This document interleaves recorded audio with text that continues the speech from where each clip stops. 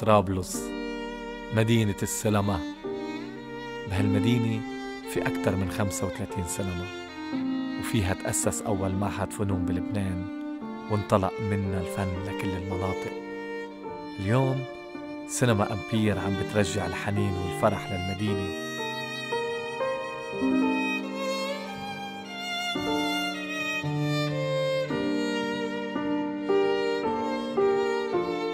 لأنه صار عنا مسرح وطني لبناني بطرابلس اللي هو حلم لكل الناس.